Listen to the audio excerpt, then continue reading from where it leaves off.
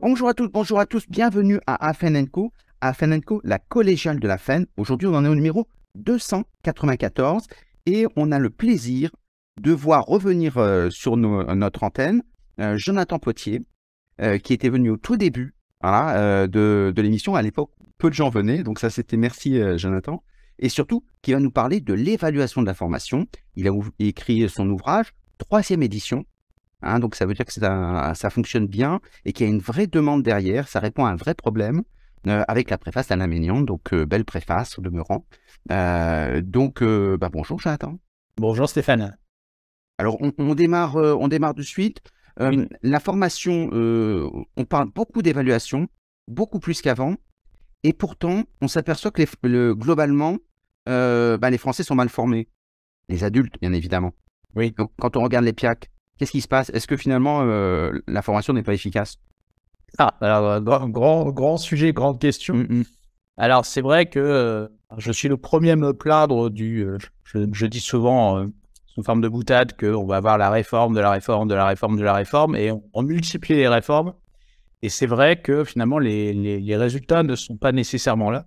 Mm. tu parlais des PIAC, hein, et c'est vrai que voilà, on voit il y a quand même un déficit dire le terme est abyssal en termes de compétences euh, chez, chez les adultes, euh, notamment en France. Mais pas que, mais c'est vrai qu'en France, on a un système de la formation professionnelle qui est quand même très développé. On a des moyens qui sont quand même assez conséquents. Et on voit que bah, finalement, on a l'impression, un peu, c'est un peu le tonneau des, des Danaïdes, qu'on a l'impression de toujours remettre de l'argent dans un système qui finalement ne fonctionne pas aussi bien qu'il ne le devrait. Donc ça pose des questions. Quand on, compare avec euh, l'éducation nationale, donc les futurs adultes qui arrivent, à la sortie de l'éducation nationale, là aussi c'est un effondrement. Teams, on n'était pas mauvais euh, dans les mathématiques, on est le dernier euh, donc de l'OCDE, donc on ne peut pas faire moins bon. Ouais, tout à fait. donc, c'est l'avantage que donc il se passe des choses dessus, c'est que la qualification n'est pas importante, mais derrière c'est toute la productivité. oui.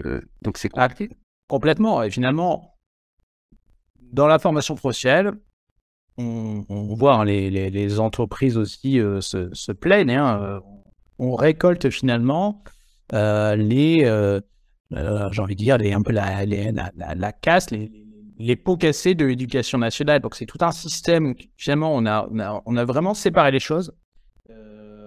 l'éducation nationale, la formation professionnelle, etc. Il n'y a pas nécessairement de continuité et on voit que tout le système est un peu à revoir.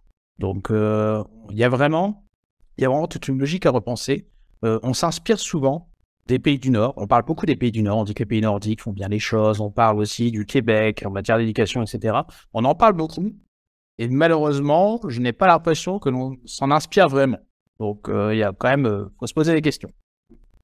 Donc, il y en a qui parlent de rentier de la formation, ce qui n'est pas faux, puisqu'on dépense 30 milliards sur la formation professionnelle. C'est énorme quand on compare à d'autres budgets, d'autres pays surtout quand on regarde ton résultat. Hein. oui, oui, complètement. Euh, mais et tu dirais que l'évaluation peut servir justement d'aiguillon pour, euh, euh, pour assurer la bonne transformation?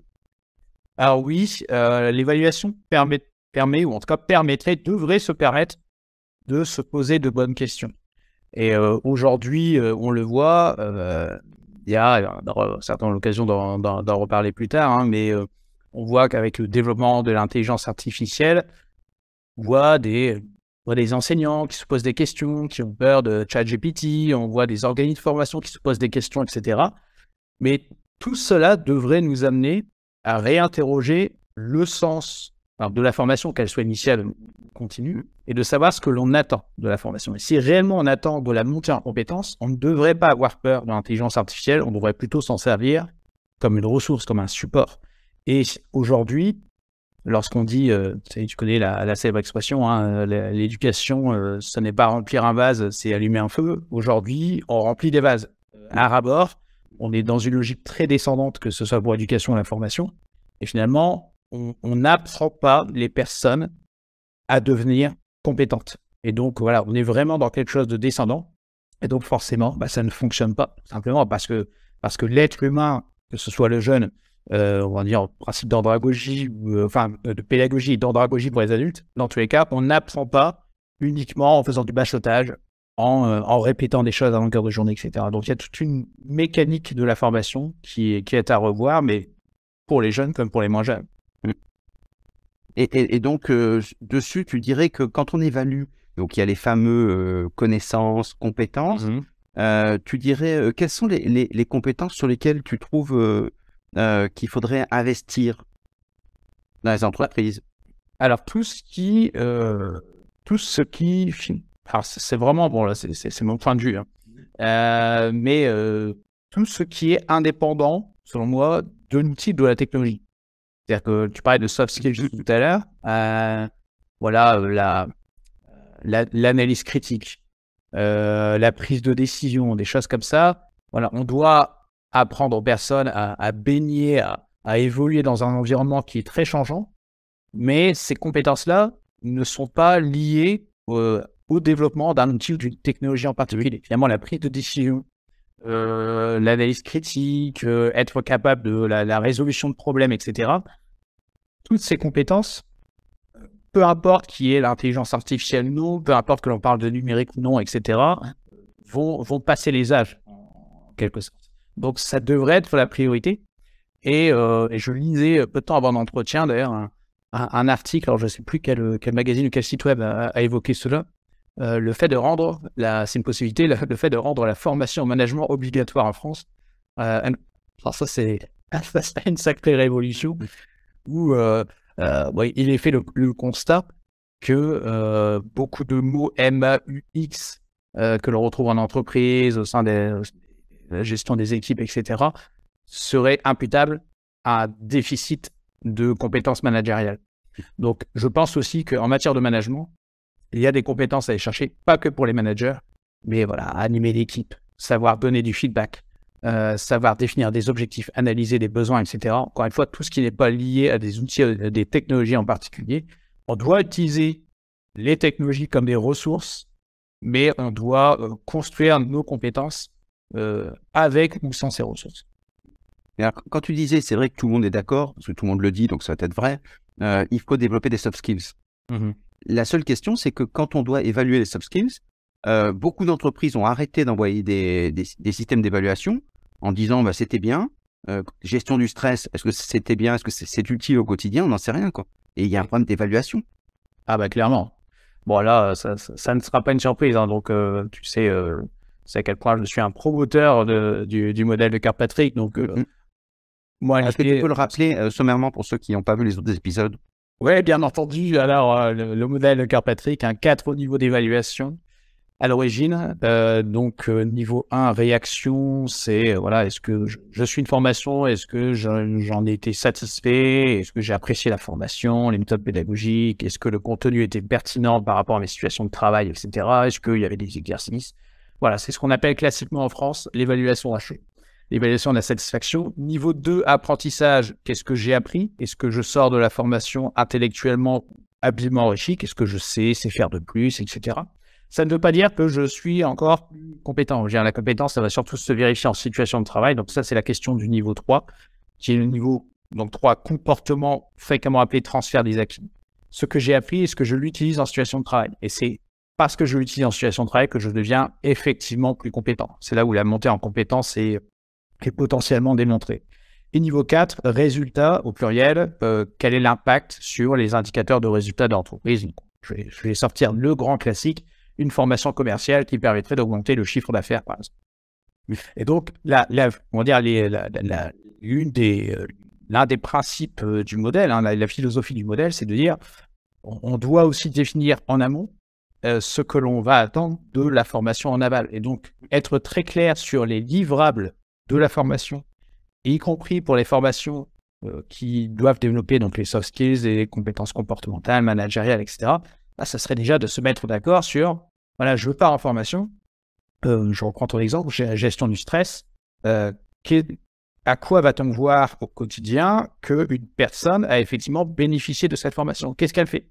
Est-ce que, euh, je, vais dire n'importe quoi, je ne suis pas du tout un spécialiste de la gestion du stress, mais est-ce que avant une réunion, avant une présentation, est-ce qu'elle prend le temps de, voilà, de, relire calmement ses notes, de respirer un grand coup, de d'utiliser des techniques pour déstresser ou en tout cas pour prévenir le stress?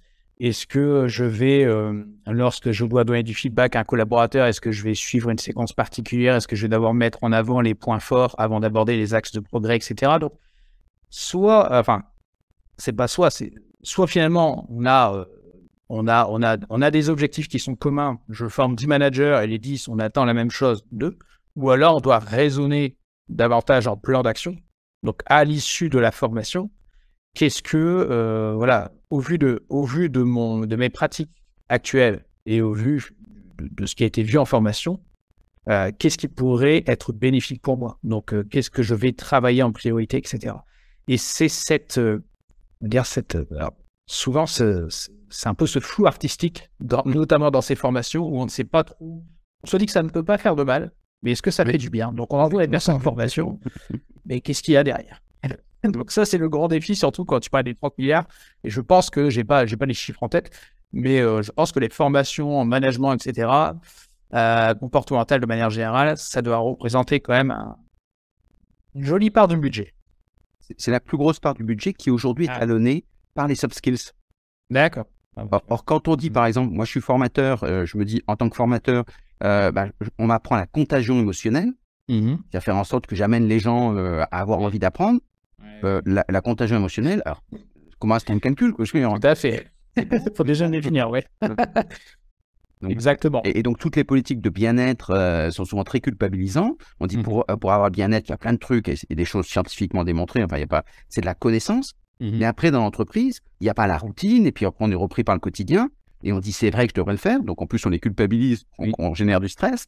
Mais ça veut dire que derrière, aujourd'hui, il n'y a pas des entreprises, des outils qui sont pensés socialement, alors qu'il mmh existe dans la technologie, puisqu'on parlait de, la tech, des outils. Donc il y, a des, il y a des bagues qu'on a, c'est WeSyncs, qui est une entreprise française mmh spécialisée dans la, mmh, dans la e-santé. On met une bague et ça permet d'avoir plein d'informations sur ce qu'on ressent. Il y, a, y, a, des bracelets avec Samsung, il y a l'Apple Watch, etc., suivant les budgets qu'on va aborder. Mais ça veut dire que la data existe. Et donc, derrière, parce que même les baromètres, quand on interroge les gens, les gens se mentent à eux-mêmes. Mmh. oui. Et, donc, ça veut dire que le déclaratif n'a pas de sens. Donc, il faudrait créer des outils. Euh, et derrière, ça nécessite, euh, par exemple, des outils qui posent des problèmes sociaux. C'est est-ce que si moi je suis hyper stressé, est-ce que j'accepte que la ligne hiérarchique mmh. sache que je sois stressé? Est-ce que je leur fais confiance? Mmh. Oui, oui. c'est un peu touchy. exactement. Donc, on, allez, deux jours de formation sur la gestion du stress, c'est un standard, c'est classique, et puis après, suivant. Mmh. Tout à fait. Alors, c'est vrai que, euh, voilà, on a, on, a, on a la techno avec nous, hein. on, a, on, a, des moyens quand même assez, euh, assez colossaux et on peut, on, peut faire des choses. Et euh, je, reviens sur ce que tu disais, finalement, l'apprenant, le collaborateur peut aussi se mentir, se mentir lui-même. C'est vrai que les, conditions de l'évaluation, les conditions méthodologiques, les conditions éventuellement de passation des questionnaires, si on utilise des questionnaires, etc., euh, doivent, être, euh, doivent être observées à la Et euh, je, prends un exemple. Il y a un, tu sais, il y a, il y, a, il y, a, il y a un mouvement, on va dire, je sais pas si c'est un mouvement, mais en tout cas, ça se développe pas mal, celui, celui des nudges, pour justement, voilà, inciter, voilà, d'avoir des incitations douces qui, qui permettent à la personne. Les partenaires sociaux sont très, très réservés. Hein. D'accord. Bon, je, ne suis pas étonné. Je ne suis pas étonné. Euh, moi, je trouve ça intéressant. Enfin, je trouve ça intéressant lorsque, lorsque justement, c'est vraiment présenté, et je crois de plus en plus à ça. Euh, l'évaluation doit être présentée un peu comme, comme le, compagnon de la personne, euh, voilà, pour l'aider à tirer profit de sa formation. Et donc, si suite à la formation, je, prends un exemple assez connu, mais voilà, je, je, suis une formation sur l'animation de réunion, et puis euh, voilà, euh, j'ai un dispositif qui me dit, tiens, la prochaine fois, euh, voilà, voici des idées d'action, qu'est-ce que tu en penses? Puis, tiens, ouais, faire en sorte que tout le monde prenne la parole, ou faire un tour de table dès le début pour demander ce que chacun attend de la réunion, que sais-je d'avoir ça, mais donc ce sont des incitations douces, c'est moi qui choisis d'y aller, donc ça m'est suggéré, certes, mais c'est moi qui choisis de m'engager ou non. Euh, j'ai des rappels, c'est suivi derrière, je peux dire si oui ou non je l'ai mis en œuvre, et que ça soit finalement des, des datas, des, statistiques anonymes mmh. qui remontent, mmh. Et pas des chiffres qui permettent de dire, attends, mais toi, tu n'as rien fait suite à la formation, etc. Parce que je crois vraiment beaucoup à ça, et pas présenter l'évaluation avec euh, on va dire ce, ce prisme français, évaluation égale notation égale sanction. Mm. Donc, que ça soit vraiment, voilà, évaluation égale amélioration, c'est un outil d'aide à l'amélioration pour l'apprenant. Et si c'est présenté comme ça, voilà, alors, désolé pour les syndicats, mais je pense qu'il y a davantage de personnes qui, qui pourront embarquer dans, dans, dans l'histoire. Exactement. Alors, j'avais fait un article qui est complètement anecdotique sur le- la formation de Nudge. Oui, je l'ai vu, ouais. Et, et- et finalement, j'ai eu de très très bons échos euh, des, des formateurs eux-mêmes et des apprenants en disant c'est- merci beaucoup d'avoir donné des mots à notre problématique au-delà de ce que j'avais imaginé euh, parce qu'en fait ils disaient c'est ce qu'on veut Mm. accompagner avec bienveillance et donc euh, les, toutes les autorités se disent euh, c'est un peu touchy parce que c'est américain déjà c'est un peu compliqué mais à la base on veut de la ça donne une forme de bienveillance euh, et ça, ça incarne la bienveillance Exactement, ouais, ouais. Donc pré- présenter ainsi, amener ainsi, je pense que voilà, ça, ça peut être, euh, ça peut être vraiment avantageux. Et puis bon, bah, c'est comme tout. hein. On très bien qu'il y aura euh, les précurseurs, les récalcitrants, les suiveurs, etc. Donc je pense que voilà, s'appuyer sur des sur des pilotes, sur des, des expérimentations, des études de cas, etc. en interne, et dire tiens voilà, on y va sur la base du volontariat, qui souhaite y aller, etc. Puis voir un peu les résultats que l'on a, faire de l'AB testing, voir entre voilà les personnes qui ont bénéficié de, de ce dispositif et les autres, etc. Quels sont les résultats Moi demain on me dit euh, quand tu passes trois jours en formation, euh, soit tu on va dire tu en retires 20% ou réellement tu en, tu en retires 80%, ça change tes pratiques, tu ça te permet de gagner du temps, de gagner en sérénité, etc. Je signe direct à partir du moment où on me présente les chiffres et on arrive à me convaincre, je signe direct, donc je pense que je ne serai pas le seul. Exactement. Donc ça veut dire que c'est- aussi un axe, euh, et comme c'est ra- rationnel, c'est un axe aussi de, de développement. Beaucoup de personnes disent aujourd'hui la meilleure façon de savoir si, euh, surtout dans le numérique, euh, ça marche euh, et qu'on a de la performance, c'est l'engagement. Oui. Et donc euh, une grande banque euh, suisse euh, avait euh, se disait, bah nous, si on voit que les gens like, euh, mieux s'ils écrivent des choses. Alors c'est pour nous, ça veut dire que c'est- c'est c'est bien. Est-ce que l'engagement vaut performance de la formation? Ah, ouais, une grande question. Oula, on a trois heures? Allez, Alors, Chat- ChatGPT, allez, on est. c'est ça, c'est parti. Mais euh, alors, tout dépend, tout dépend comment l'on définit l'engagement et où s'arrête l'engagement. Parce que c'est vrai que souvent l'engagement est vu comme, euh, euh, enfin, défini comme euh, le, le taux de complétion, tu vois, quasiment. Mm. Voilà, je me suis engagé à la formation parce que je l'ai terminé. Oui, on peut subir la formation.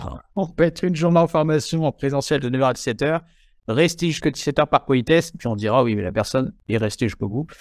Ok, euh, mais ça ne veut pas dire qu'il y a eu une notion d'engagement derrière. Par contre, si c'est de l'engagement au sens où je, je vais jusqu'au bout de ma formation, mais je vais vraiment jusqu'au bout du processus de développement de mes compétences, je ne m'arrête pas à la fin de la formation à 17h si je reprends euh, l'image de la formation présentielle, mais je m'arrête quand j'ai pu mettre en pratique, j'ai pu partager auprès de mes collègues, j'ai pu me voilà faire essaimer, faire en sorte que l'on capitalise sur ce que j'ai pu apprendre, etc. Euh, voilà, l'engagement doit se faire vraiment jusqu'au c'est-à-dire que jusqu'à la ligne d'arrivée. La ligne d'arrivée doit être déplacée. Ça n'est pas la fin de la formation, c'est la montée en compétences individuelle, puis peut-être collective si on va jusqu'au partage euh, au, sein de, au sein du collectif de travail. Donc tu serais plutôt favorable, euh, une fois que la formation présentielle ou distancielle soit réalisée, de créer une communauté apprenante comme service après-vente pour voir euh, qu'est-ce qu'on rencontre, qu'est-ce que les gens. Et là, on voit si ça marche pour de vrai? Ah, exactement, ouais. Mais c'est, euh, malheureusement, la phase post-formation est encore euh, mal aimée. la mal aimée. Euh, on, on mise beaucoup, hein, on consacre la- l'essentiel et des, des ressources à l'action de formation elle-même. La préparation en amont, euh, c'est pas, c'est pas toujours génial. On fait un peu de communication, etc. Par contre, la phase post-formation, on croit à la magie et on imagine que voilà, la formation est terminée. Donc, naturellement, tous les apprenants vont être, non, même pas des serial learners, hein, des serial transférers, tu vois. Mm. Voilà, ils vont tous se prendre en main, euh, changer leurs habitudes, leurs pratiques tout seuls. Et voilà, on, peut, on, peut, on peut citer euh, Philippe Carré, euh, on apprend toujours seul, mais jamais sans les autres. On pourrait même le paraphraser en disant euh, on transfère ses acquis toujours seul, mais jamais sans les autres, au sens où voilà, on va avoir besoin du collectif, de, cette, de ce soutien social pour aller jusqu'au bout. Complètement. Et ça, et ça permet en plus d'avoir qu'on appelle le learner generated content, c'est-à-dire les apprenants eux-mêmes qui nous amènent du contenu qui, Tout à pour les formateurs, dit Ah ben, je savais pas que ça, ça, ça pouvait fonctionner. Et donc, ça, ça permet d'avoir une vraie interaction. Exactement, ouais. Tout à fait. Et pour améliorer effectivement la, pertinence du contenu, voilà, j'ai j'ai tenté de mettre en pratique cela. Bon, en formation, c'était intéressant en théorie. Par contre, ça ne fonctionne pas. Ou alors, il faudra ajuster cela, etc. Puis voilà, on a on a de moins en moins de friction entre la formation en tant que telle et son déploiement en situation de travail, quelle que soit la modalité. Et donc, effectivement, c'est c'est vraiment c'est quelque chose à, à privilégier. Donc aujourd'hui, euh, alors si on reste un peu sur les communautés apprenantes, il y a un système qui marche assez bien. Euh, c'est le fait, l'analyse des wordings. C'est-à-dire qu'on analyse les mots utilisés par les apprenants. Donc au mmh début, bah, s'il y a des mots techniques à acquérir, bon, ils les ont pas. Donc à la fin, si ça a bien marché, ils les ont. Mais aussi, et c'est ça qui est intéressant, et ça nous fera glisser vers l'intelligence artificielle, c'est qu'on voit la façon dont ils traitent les mots et les organisent. Donc on voit comment est-ce qu'ils pensent. Et donc on sait que là, il, y a, quelque chose qu'ils n'ont pas compris euh, dans la, mmh la, formation et donc, et tout ça, il faut juste euh, un algorithme pour euh, analyser les mots. D'accord, intéressant. Hein? je, me connais, je, tu vois, je ne connais pas trop, donc j'irai creuser euh, hein? cela. Je ne sais pas où est-ce que ça en est en termes de, développement, mais parce que c'est vrai que l'analyse sémantique, ça, ça, ça, existe depuis un certain temps. mais on va dire son exploitation dans la formation pour, pour évaluer et voir finalement l'évolution des productions des, des, apprenants. Ça, ça s'était beaucoup fait sur les forums. Et mmh en fait, il suffit de reprendre l'algorithme, qui sont souvent, comme ils sont un peu anciens, euh, alors évidemment, euh, c'est pas hyper intelligent, hein, euh, mais ça permet justement d'avoir des mots et d'avoir une évaluation. Donc on teste, et puis comme c'est apprenant petit à petit, on améliore. Mais en tout cas, ça donne sur des communautés où on se dit on papote, on papote, mais est-ce que ça sert à quelque chose? Ben Là, on a des indicateurs.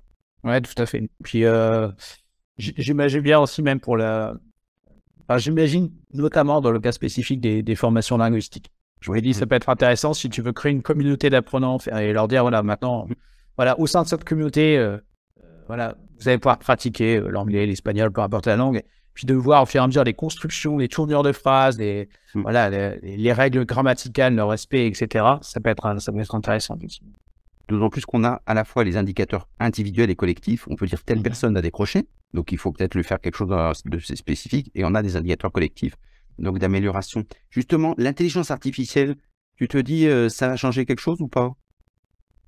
Ah, alors ça, ça le, le big data, l'intelligence artificielle. Alors, euh, spécialement le big data ou alors, enfin, tu parles par rapport à l'évaluation? Oui, par rapport à l'évaluation. Alors, je, pense que ça va changer beaucoup de choses euh, sur. je, vais, je, vais, je vais séparer un peu les deux, mais sur, sur l'action de formation elle-même. C'est-à-dire que voilà, aujourd'hui, euh, euh, voilà, de, plus en plus, euh, voilà, si on voit que les budgets de formation, cas les, ressources avec la formation sont, sont plutôt sur la pente descendante de manière générale. Donc voilà, il y a, de moins en moins de, financement, de cofinancement, etc. Donc on demande de, faire plus ou mieux avec moins. Donc je pense que l'on va de plus en plus compter sur le numérique, sur le digital pour se former. Et là, euh, j'imagine bien l'IA qui va nous permettre d'aller droit à l'essentiel, euh, de s'adapter davantage au profil de la personne, d'avoir, euh, pour le coup, un réel apprentissage adaptatif. On va vraiment se baser en fonction de, enfin, se baser sur le profil de la personne, sur son niveau actuel, sur ses préférences en termes d'apprentissage, etc. Construire des parcours sur mesure, pouvoir dire écoute, euh, j'ai remarqué que généralement, toi, tu avais de meilleurs résultats quand tu allais consulter le, euh, le, le, module ou cette vidéo YouTube euh, tel jour à telle heure. voilà, quand tu avais mangé ça le midi quasiment, voilà, on va pouvoir aller jusque-là. Mm, mm. Donc, on va dire sur, sur l'action de formation. Mm.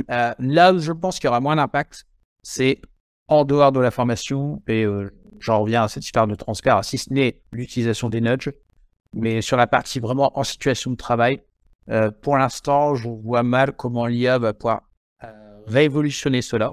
Euh, donc, j'attends de voir. Mais par contre, voilà, sur, sur les modalités d'apprentissage, voilà, aujourd'hui, j'ai des, j'ai des collègues qui me disent Jonathan, est-ce que tu as des formations à nous conseiller pour améliorer notre orthographe, etc.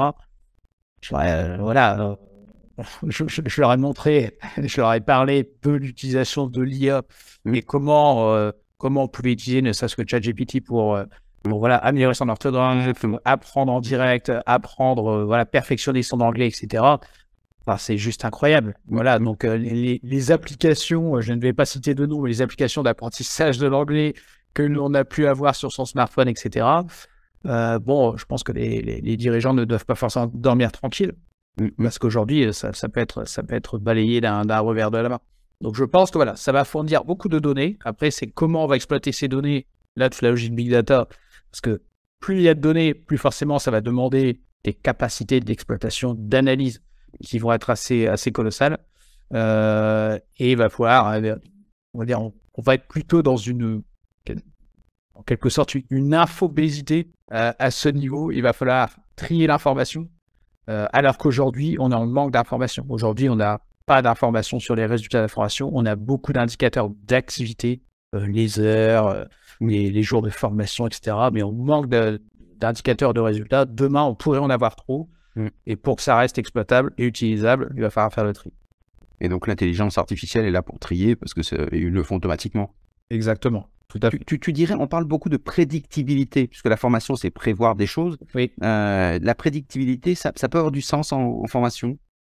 Ah bah clairement. Euh, clairement. Alors c'est euh, à, beaucoup de niveaux. celui, celui, on va dire, celui que idéalement, celui, celui que j'ai en tête, c'est moi, je, je, je, rêve, alors ça, ça, peut être effrayant sur certains aspects, mais de pouvoir dire. Un cauchemar. Voilà, au vu de ton profil, de ce que tu sais, de ton expérience, de tes formations passées, de ce que tu as réalisé dans tes formations, voilà, si tu t'engages dans ce parcours, la probabilité que tu réussisses la formation, que tu ailles jusqu'au bout, que tu aies tel type de résultat, que tu puisses acquérir telle compétence, etc., et de autant bon bah laisse, laisse couler quoi, laisse tomber, euh, vas-y plus tard ou voilà. Donc mm. moi j'ai ça en tête, tu vois sur la si on pouvait réduire la capacité des personnes. Alors évidemment, on charge à la personne de faire mentir l'IA mm. parce que attention à ne pas tomber dans, il y a des rebelles.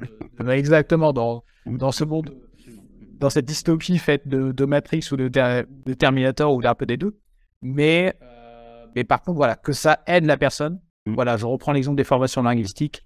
Voilà, euh, j'analyse mes données, je regarde, tiens, euh, typiquement, je regarde, oui, je regarde de Netflix en VO, je lis autant d'articles par semaine, etc. Voilà, au vu de ce que tu fais, etc., si tu t'engages dans tel parcours, tu fais ça, tu y consacres autant d'heures par semaine, oui, c'est jouable d'atteindre le niveau C1 d'ici trois mois, etc. Tu vois, qui est ce côté-là, là, j'y vois l'intérêt, euh, clairement. Euh, alors, quand on voit justement sur l'intelligence artificielle, on se retrouve avec des interfaces nouvelles. je pensais par exemple à Alexa, avec Duo, euh, Lingo, euh, qui, qui, ont investi justement pour être des agents conversationnels sur les langues. Euh, et ça, c'est parlant. 24 heures sur 24, on peut s'entraîner. On sort de boîte à 4 heures du matin. ça va donner. exactement. Il peut y avoir des écarts, attention, un abus d'alcool, etc. Mais, mais cette réserve-là, c'est extraordinaire. Quoi.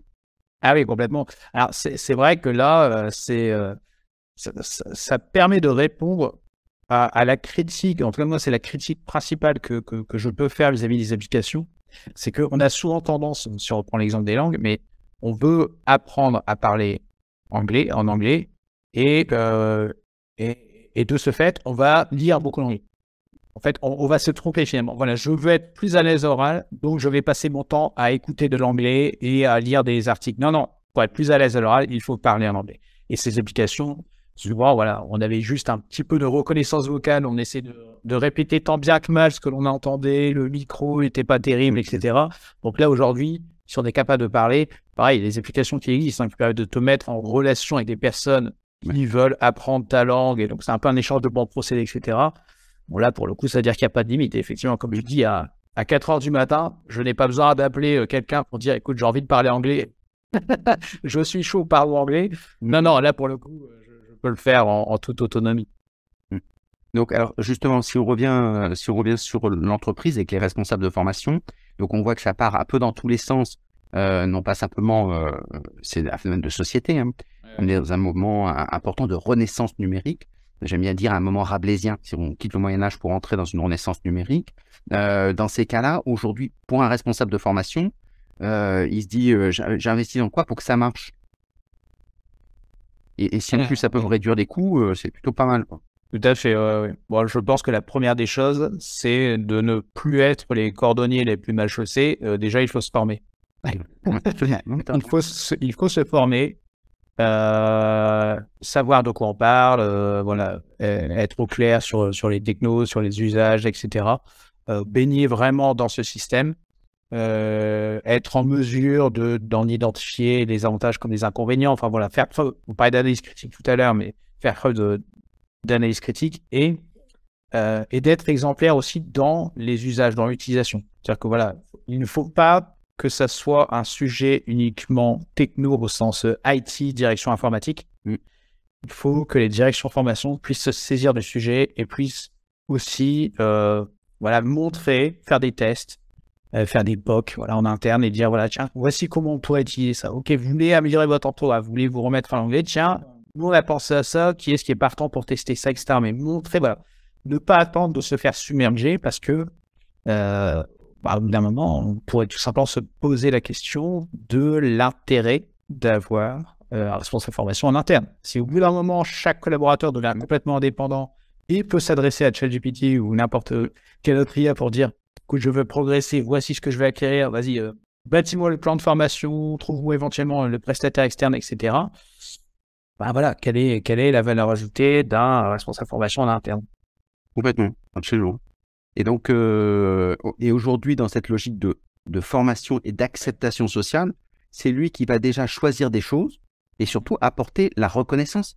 Et donc, c'est un travail marketing qui est intéressant pour lui. C'est-à-dire de se dire, soit je laisse tout seul et personne n'apprend tout seul ce que tu disais tout à l'heure, soit je crée des aventures collectives et donc toute l'intelligence collective, les entreprises apprenant, des choses comme ça. Et donc là, c'est le travail de reconstruction des pédagogies nouvelles. Exactement. Et là, on, là, on va sortir des, des schémas euh, dont on disait le plus grand mal en début d'épisode.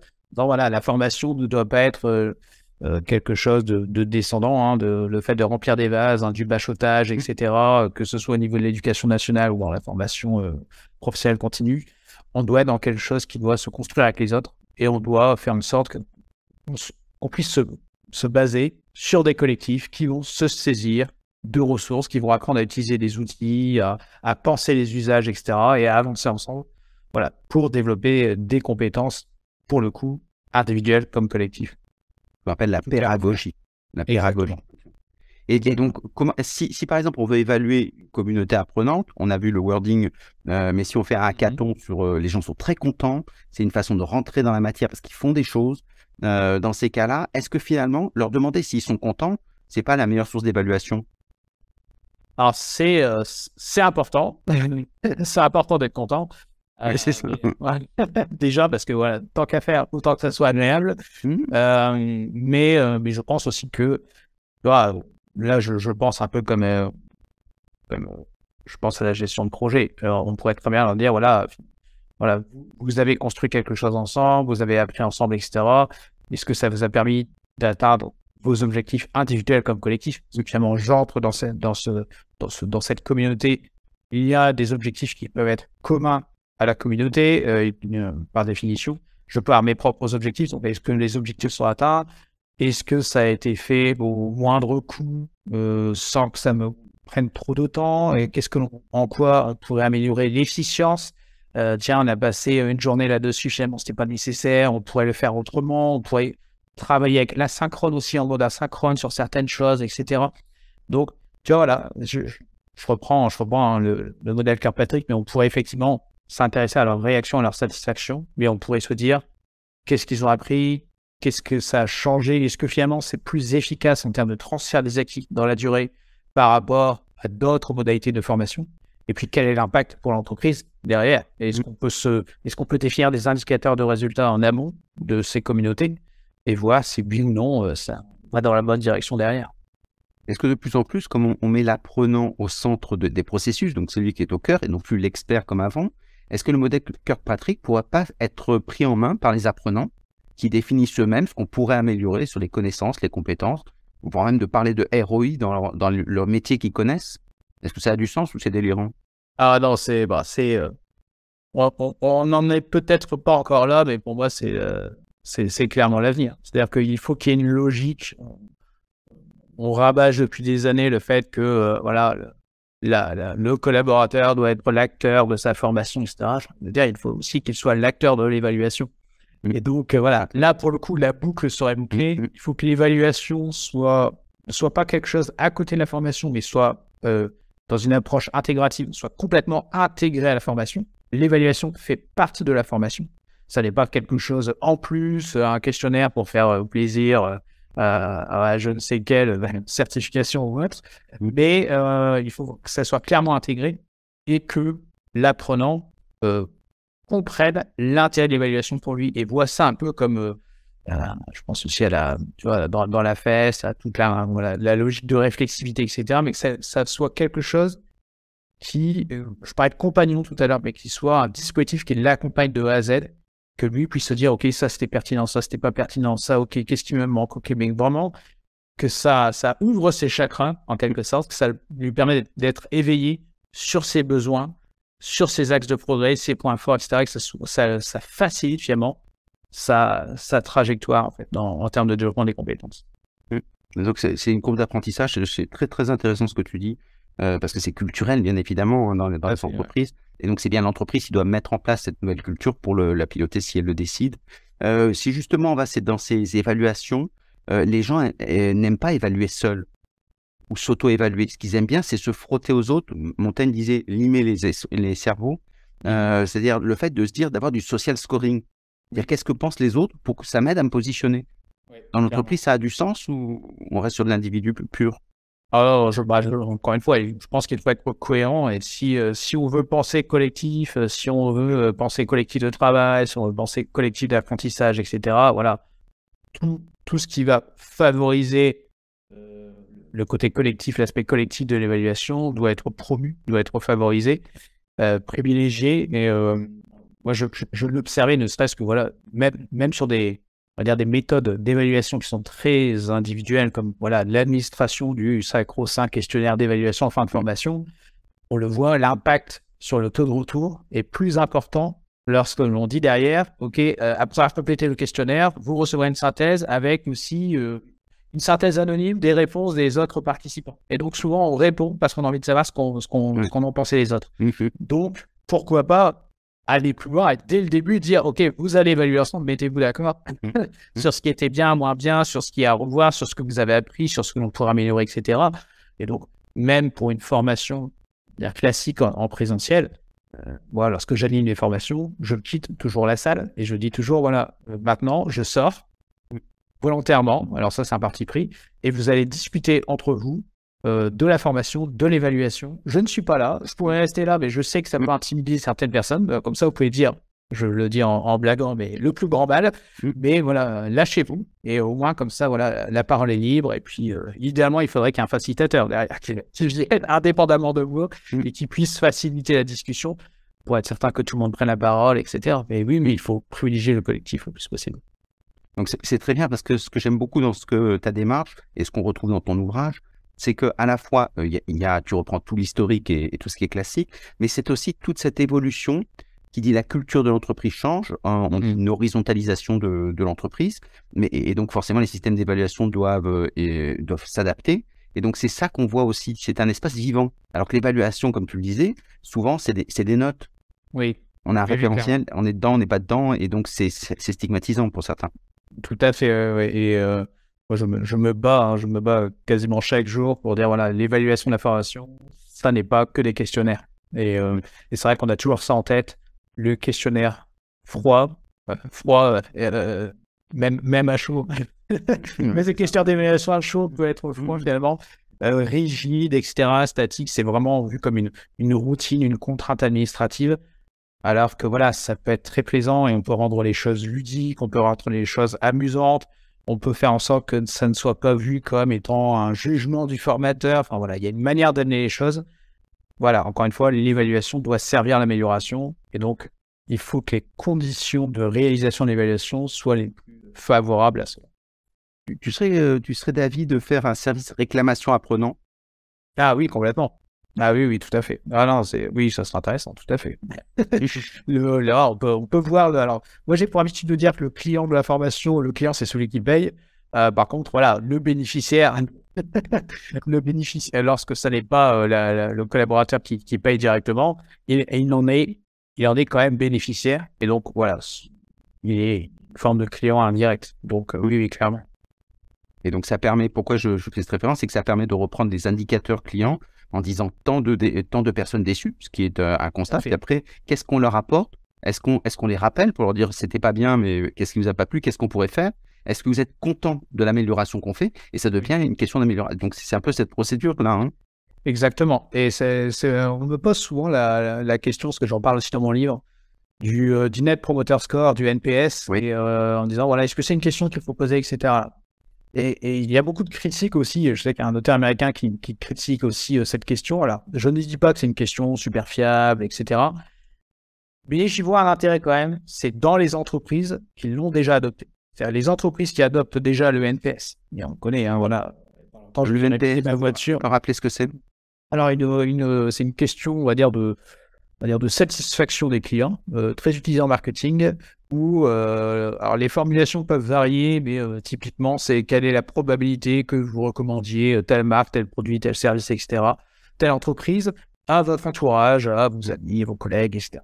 Et en formation, ça donnerait quelque chose comme, voilà, recommanderiez-vous cette formation à votre entourage professionnel? C'est la formulation que je propose. Mais on a une note de 0 à 10.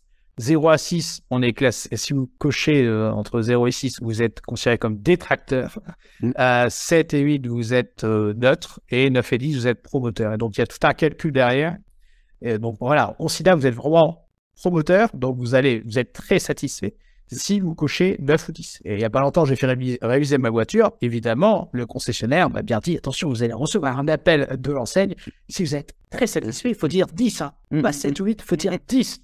Tout est biaisé, Mais l'intérêt que je vois d'utiliser cette information, c'est, euh, ça n'est pas pour la qualité de la question en tant que telle, sa fiabilité, mais c'est de se mettre au même niveau que les autres fonctions. Et de dire, ouais, nous aussi, on entre dans cette démarche d'amélioration continue et de satisfaction client. Donc, on utilise aussi le langage d'entreprise et donc on communique sur le NPS, notre résultat, notre score NPS derrière, mm. au même titre que les autres fonctions, pour éviter de, de se mettre à l'écart en formation et de considérer que oui, mais chez nous, c'est différent. Oui, chez nous, c'est peut-être différent, mais à un moment donné, il faut des éléments de langage commun. Mm. Et, avoir aussi une politique de, de l'évaluation. Euh, si par exemple on se dit, euh, bah, si vous évaluez mal le, formateur, on a peur qu'il soit licencié, qu'il perde une prime, etc. Alors on met tout le monde est formidable, tout le monde est beau. Euh, et puis de toute façon, comme ça sert à rien, hein, de toute façon, autant dire que étant positif. Mais si derrière c'est retraité et qu'on dit à tout le monde qu'il y avait eu un problème, que derrière il a été traité, ben dans ces cas-là, on l'a amélioré et donc en formant davantage sur un outil qui maîtrisait moins bien, le formateur, le formateur est content parce qu'il a pu progresser et, l'apprenant a donné son avis pour que tout le monde en profite.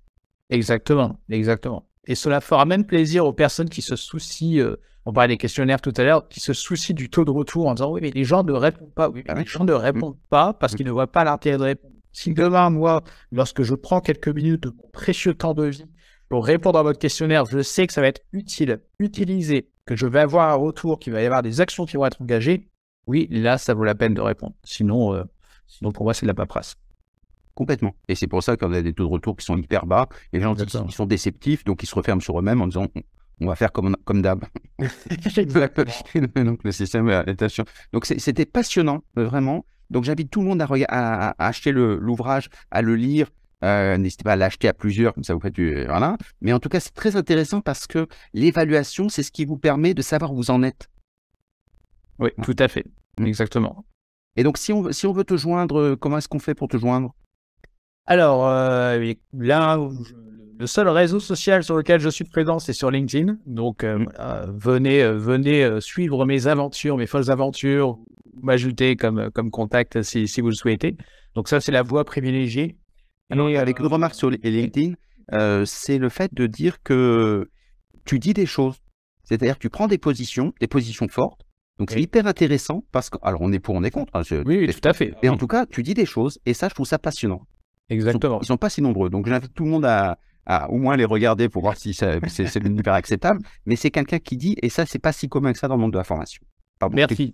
Merci de le souligner. Non, non mais j'apprécie parce que c'est très important pour moi et, euh, j'insiste beaucoup. Euh, je suis, euh, je suis un, ardent défenseur de la, de la liberté d'expression. Donc, même si vous n'êtes pas d'accord avec moi, il n'y a aucun problème. Votre avis est bienvenu. Vous pourrez commenter mes posts, vous pourrez dire tout ce que vous voulez, garantie sans suppression de commentaires. Mmh. donc, n'hésitez pas. Et, je, voilà, je, j'œuvre toujours dans, dans, dans, le domaine de l'évaluation de la formation et vous pouvez aussi aller voir, je, je contribue avec avec mon ami Just Raymond sur le site évaluationformation.fr, tout attaché, où voilà, on publie des ressources, voilà, où on parle des, programmes de, formation Carpatrick, etc. Donc voilà, il y a tout un ensemble de ressources, podcasts aussi, des vidéos que l'on a pu faire, voilà, sur, euh, sur ce site. Donc, voilà, n'hésitez pas à utiliser euh, Jonathan Potier pour justement vous faire votre cartographie de l'évaluation et après vous faites votre propre chemin dessus et comme ça vous trouvez euh, les résultats qui sont les vôtres. Merci beaucoup à tous. Merci Jonathan. Merci Stéphane. À bientôt.